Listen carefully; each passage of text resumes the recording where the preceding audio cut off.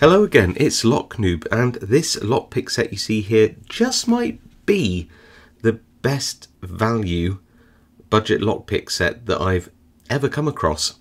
I can think of another couple which might be in the runnings. Maybe I'll do a video on best value budget lockpick sets in the future, but for now let's concentrate on this one.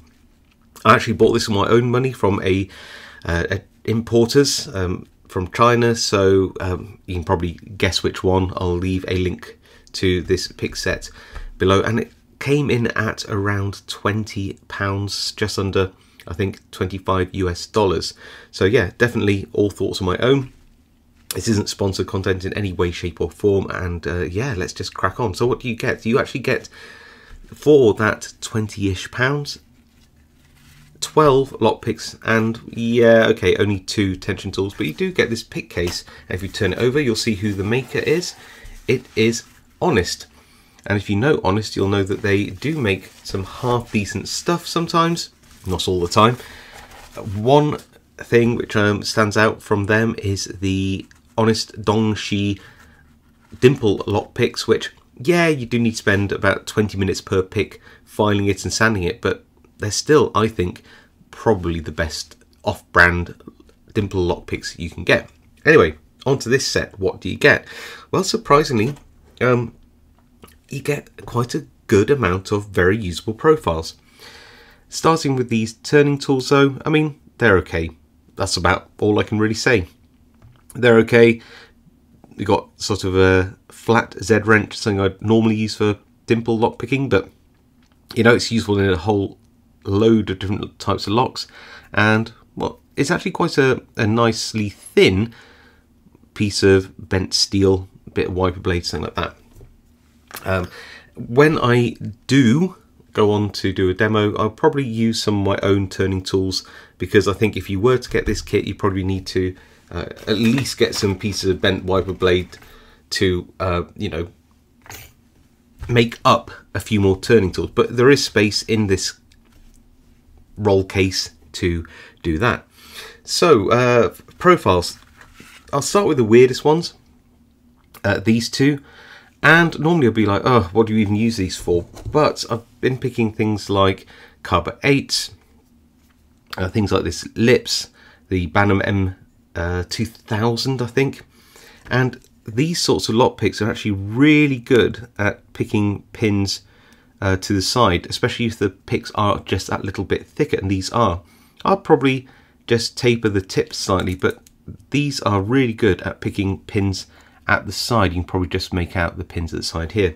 And some of them have pins lower in the lock, some higher. So these are actually half decent. If you didn't like them, I guess what you could do is file them down into uh, maybe a very small half diamond or a hook or something like that. Um, and same with this one, you just round it offside to make it into a, a short to medium hook.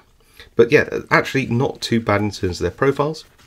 Then we get some, uh, a whole bunch of hooks. We get a center notch sort of uh, lifting tool, one of the one of the lifters. These can be quite useful if you're trying to get onto a particular pin to lift it. And uh, yeah it's not too bad this one. Then we have uh, a a short hook which is mm, I'd say flat top then then a weird but actually very usable round tipped um, hook. I found while this is a little bit of a pardon the pun a blunt instrument surprisingly good in low security locks then the slightly deeper hooks here got more of a, a rounded tip medium hook and a DeForest ball.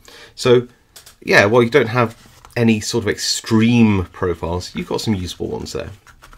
Moving on, you've got a half diamond and a ball rake, perfectly usable.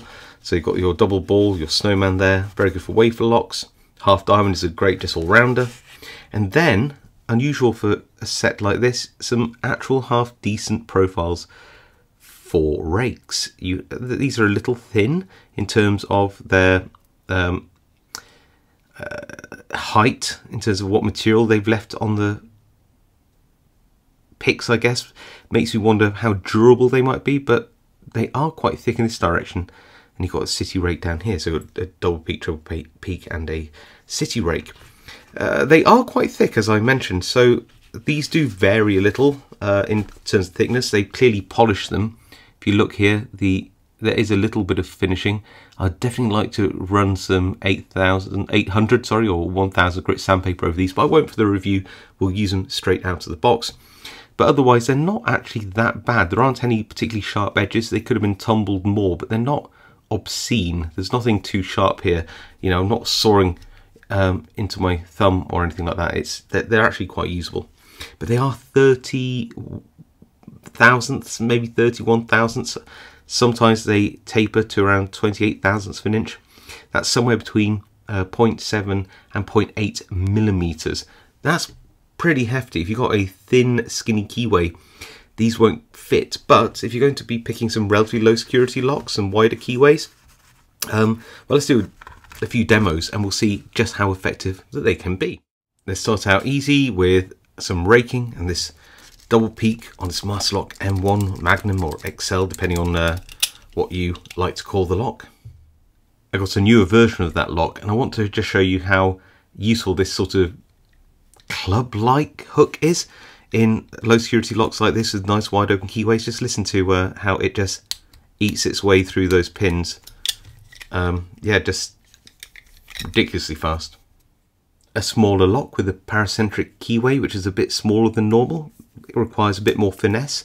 So I'm going to use this thin turning tool from the kit and this flat topped short hook, which seems to be tapered down a little bit thinner and has a nice, relatively good shank height here. So I don't know, I'm, I'm relatively confident that we'll be able to uh, pick this lock open with a little bit of care and attention. It's got five pins, got four spool pins in. Just takes a little bit more effort to uh, pick than some other locks and actually I, really quite enjoy that so uh, just on to pin 3 now. Make sure I don't overset anything. Pin 1 here. There we go and we're open. I want to use a triple peak now? Got myself a relatively low security padlock 5 pins and a paracentric keyway but this time the keyway is a little bit larger which is good because this is quite a thick pick. I'm just going to go in and see if we can um, rake open this lock. Very light tension, lots of jiggling and raking, and hopefully we'll be able to get an open in a second. Oh, there we go. Nice big chunky zone padlock with security pins versus a city rake. Let's throw in some turning tools and give this uh, a bit of a go. So it's going to give this a, a, a little bit of a, a rock and a rake.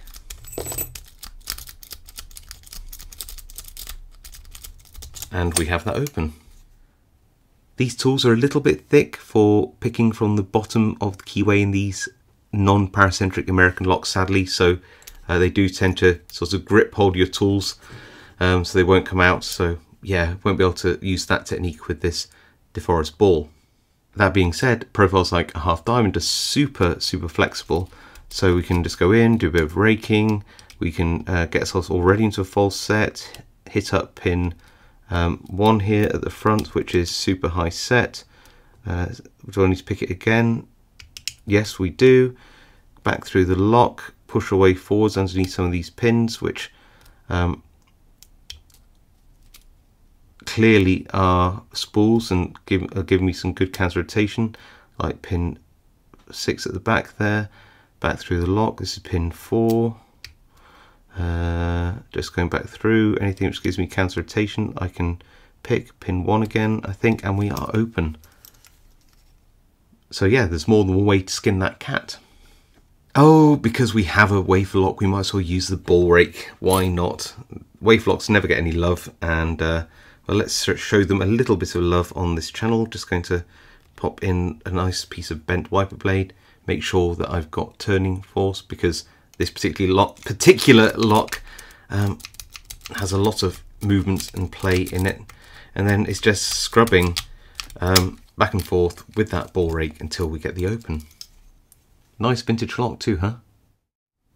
So there you go yeah, I didn't pick many high security locks. I never do my reviews because it's more about the so there you go. I mean, clearly they can be pretty capable in some pretty normal locks. Yes, I didn't pick anything too high security, but I never do my reviews because of time constraints. Uh, it's more about do they do anything at all? Can they be used more than uh, what my particular picker's skill is like?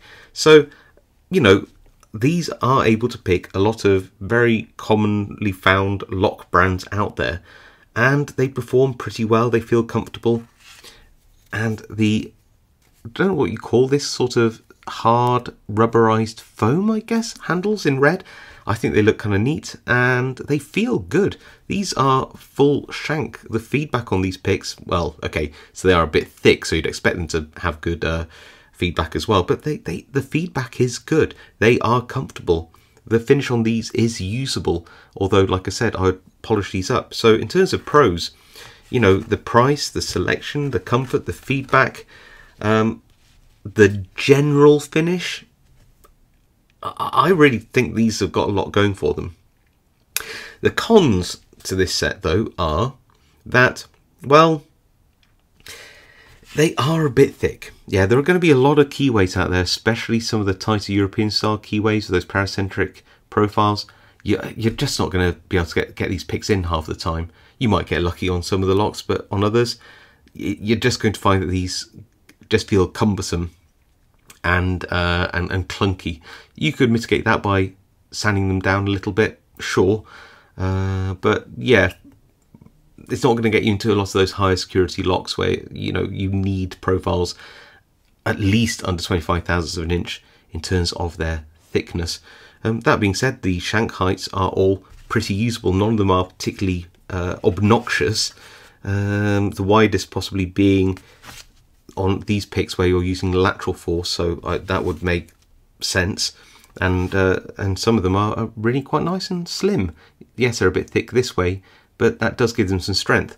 One of the cons would be that these are probably not made out of the best steel. They appear to be some form of stainless, but um, I couldn't swear by it. But you know what?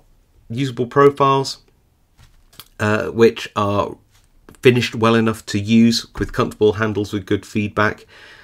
Yes, they're a bit thick, but that, I think that's where that compromise comes from. Would I recommend this to a, a first time picker on a budget? Yeah, I probably would. Um, do I think there are better lockpick sets out there? Absolutely there are, but they will cost you a bit more money. You tend to get what you pay for. I just think that this seems to be, appears to be quite good value. Now, how long will they last? I've been picking on these for uh, a few hours, uh, practicing, recording videos, those kind of things, and they hold up really well. They are quite thick, but I'm an experienced lock picker, so I can't guarantee you how long these will last, but they appear to be pretty robust. That's the best I can say.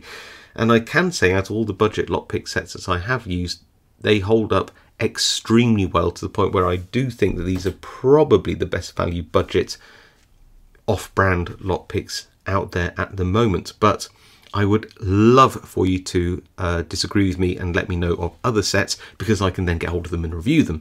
Uh, so I'd really like to know what you think. For around uh, 20 quid, 25 US dollars, that kind of uh, area, what do you think to this honest lockpick set in terms of its profiles, what it gives you for the money, uh, the the selection, the finish, all those kind of things. Really let me know in the comments. Generally would like to know. I'm quite impressed by it. I'm glad that I spent my 20 quid on it.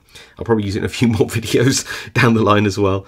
But yeah, let me know your comments. If you like this video, then leave a like. If you have um, if you haven't subscribed to my channel and want to help my channel out, then please do consider subscribing to get more content like this. And of course, I'll see you all next time.